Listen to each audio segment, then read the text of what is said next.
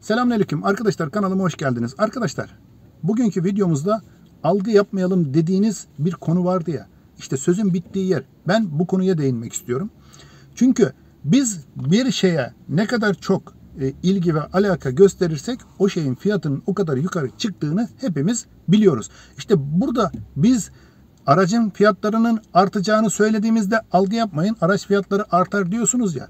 Dün geceki gördüklerim karşısında ben gerçekten şaşırdım. Motorine gelecek zam mı zaten biliyorduk. Rusya ve Ukrayna krizi de bazı şeylerinde e, tetikçisi oldu. Şimdi algı yapmayalım diyordunuz ya. Dün geceki benzin istasyonlarındaki araç kuyruğu ne idi? Algı mıydı?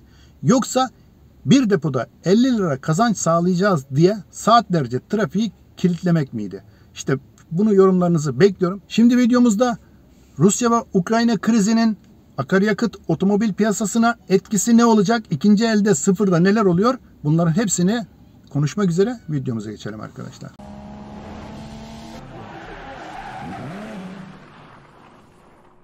İlk önce motorun fiyatlarından bahsedeyim. Motorun fiyatlarına daha öncekilerden bir miktar fazla zam geldi. Fakat burada bu gelen zamdan daha ziyade yorumlarda yazılan ve de anket yaptığımızda motorinin yüksekliğinden dolayı araç satılmayacağını, motorun yüksek olduğundan dolayı da insanlar araçlarına binemiyor, e, araçlarını kapıların önünde yatırıyor. Şimdi bu gerçekten akaryakıt fiyatlarının yüksek olmasından dolayı benim kafamda bir soru işareti bırakıyordu. Gerçekten bu durum böyle mi?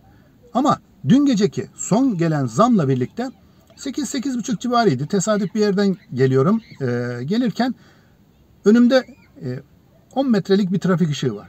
Fakat trafik ışığını 20 dakikada geçtik. Yani 10 metreyi aşamıyoruz. Trafik ışıklarının yanına geldiğimde tam önünde bir tane benzin istasyonu var. Benzin istasyonunun içi dolu. Işıkların önünü kapatmışlar, yolu kapatmışlar. Yani motorin alabilmek için insanlar sıraya girmiş. Bir depoda 50 TL. Yani hani biz bu otomobillere binemiyorduk. Yani 50 TL ne bizi zengin eder ne fakir eder. Ama dün geceki yaptığımız bu e, motorin alma çılgınlığından sonra motorine 2 lira daha zam gelse yeridir. Algı yapmayalım diyorduk. E, araç fiyatlarında algı yapmayalım. Araç fiyatları satılmıyor. E, araçlar satılmazsa e, araç fiyatları düşer diyorduk. Motorin dün gece satılmasaydı belki motorun fiyatları düşerdi. Yani sizin e, söylediklerinizi ben gördüklerimle e, analiz etmeye çalışıyorum arkadaşlar. Yani motorun fiyatları 20 lirada olsa bu e, motorun fiyatlarına alışacaksınız ve bu motorun fiyatlarıyla araçlarınıza binmeye devam edeceksiniz. Çünkü dün geceki gördüklerim gerçekten e, ben e, şaşırdım. İsterseniz aracımın da deposunun boş olduğunu gösterebilirim. Çünkü ben e, tepkiliyim.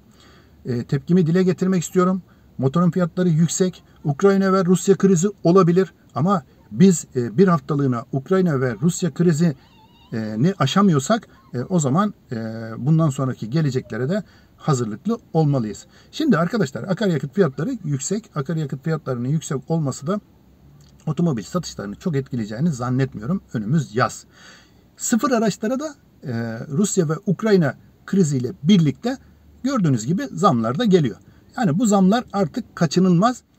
Şimdi arkadaşlar biz hep savunuyorduk. İkinci el piyasasında düşüşler var. İkinci el piyasası e, aşağıya doğru kayıyor.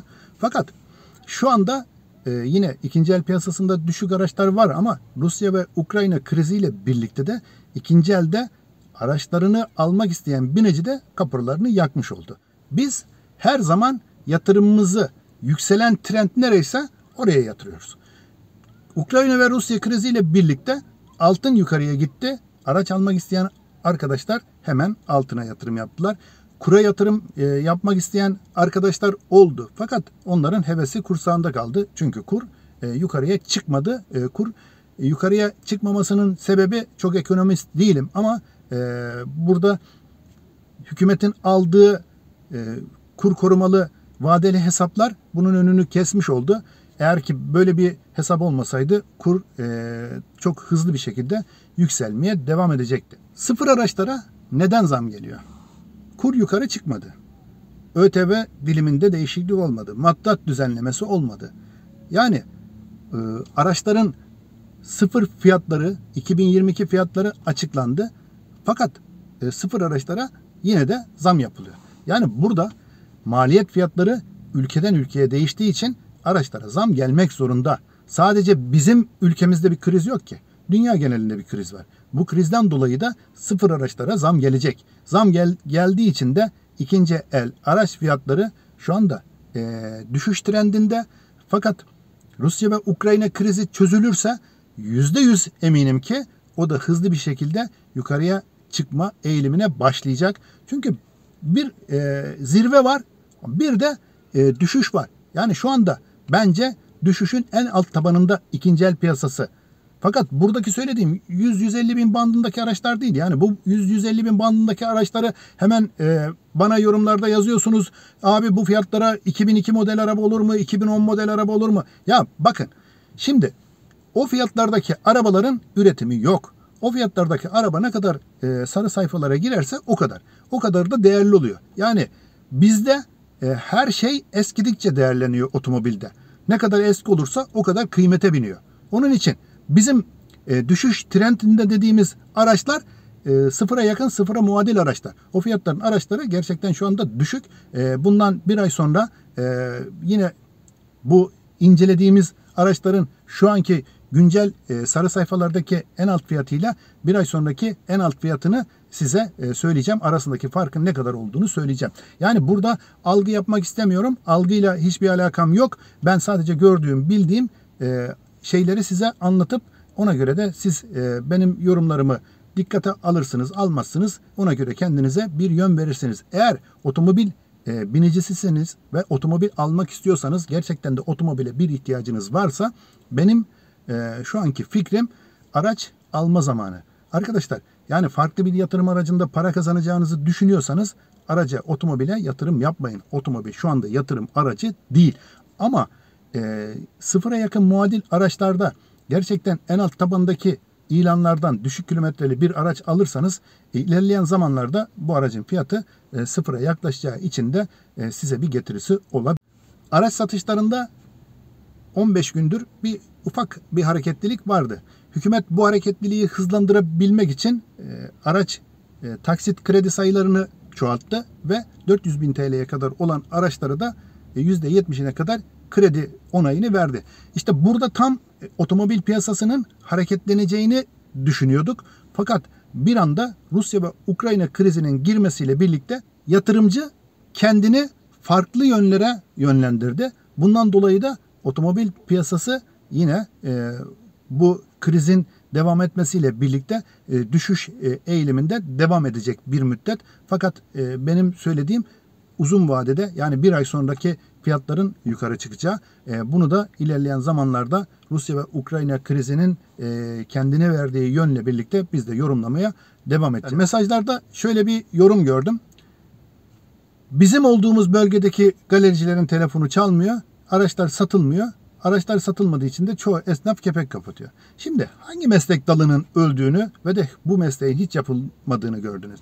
Yani otomobil piyasası bitmez arkadaşlar. Yani bir kesim alamayan vardır ama bir kesimde alan vardır. Yani şimdi sadece binici olarak düşünmeyin. Kiralama firmalarının fiyatlarının kiralamada yukarı çıkmasından dolayı e, çoğu firma e, kiralamadan kendi araçlarına dönmeye başlayacaklar. İşte bu dönmeden dolayı da e, birçok araç satışı olmak zorunda. Biz sadece binici kısmından bakıyoruz. Yani biniciye araç pahalı fakat e, bir firmaya e, 10 bin lira ödüyorsa aylık bir arabaya kira ona e, araç ucuz. Yani her zaman e, madalyonun bir yüzünden bakmayalım. İki yüz olduğunu da unutmayalım. Yani burada araç e, satışları yüksek de olsa, araç fiyatları yüksek de olsa devam edecek araçlarını değiştirmek isteyen arkadaşlar olacak, model yükseltmek isteyen araçlar olacak. İşte onların e, bu hareketliliği olmak zorunda. Yani yorumlara yazıyorsunuz esnaf kepenk kapatıyor. Tamam esnaf kepenk kapatır. Çünkü birçok e, al satçı birçok e, kendi mesleğinin dışında bu işi yapan arkadaşlar var. Onlar kapatacaklar. Çünkü araç bulmak zorlaşacak ve de aldıkları araçları çok yüksek aldıkları için kar marjları düşecek. Onlar kar marjları e, düşük olduğu için de bu işleri yapmazlar. Yıllardır bu mesleği yapan galerici e, zaten müşterisi hazır. Onun arabası kendi kapısının önüne geliyor. Araç aramıyor. Onun müşterisi takas ediyor. Yani bir türlü e, araç hareketliliği onda her zaman olmuş oluyor. Araçlara zam önümüzdeki ayda gelecek. Fakat ikinci eldeki durgunluk araç satışlarının olmaması, talebin çok olmamasından dolayı da bir müddet daha bu şekilde devam edecek. Ama ondan sonra bir ay sonra belki de e, araç fiyatları ikinci elde de sıfıra gelen zamlardan dolayı aradaki makasın kapanması gerekiyor. Onun için de ikinci eldeki araçlara da yine zam gelecek. İkinci el fiyatları sıfıra yakın muadil araçlarda yükselecek. Alt tabandaki araçlar zaten olmadığı için sürekli onlar e, yükseliş trendinde. Ne kadar ele ayağı düzgün bir araç varsa da o da e, kendi değerinin 10 bin lira, 20 bin lira, 30 bin lira üstünde isteniyor. O konuda gerçekten e, işler acısı hiç arabası olmayan arkadaşlar da e, çok kötü e, ve sanayiden çıkamayacağı araçlara mahkum oluyor. Çünkü onların alacağı 100-150 bin bandındaki araçların çoğu çok eski model ve de çok e, yıpranmış, çok kilometre yapmış araçlar. Nasıl kullanıldığı, nasıl bakım yapıldığı belli olmayan araçlar. Onun için de e, bu banttaki araçları da alırken çok çok dikkat edip e, iyi bir ustaya, ekspertiz firmasından daha çok e, iyi bir ustaya mekaniğini de baktırmak gerekiyor. Ben çünkü bu banttaki araçların e, şaselerinde, kulelerinde oynama olmadığı süre içerisinde aracın mekaniğine baktırmak gerekir diye düşünüyorum. Kaporta boyası e, o modeldeki aracın çok önemli değil. Çünkü bize kaporta aksamı çok e, bakım maliyeti gerektirmez ama aracın yürüyenindeki bir arızadan dolayı da çok yüklü miktarlarda para ödemek zorunda kalırız. Çünkü araçların şu anki bakım maliyetleri, parça maliyetleri gerçekten çok yüksek arkadaşlar. Onun için de bu araçlar alırken dikkatli olmalıyız. Arkadaşlar e, videomu beğendiyseniz kanalıma abone olursanız sevinirim. Yorumlarınızı ve like'larınızı bekliyorum. Allah'a emanet olun. Her şey gönlünüzce olsun. Bir başka videoda görüşmek üzere.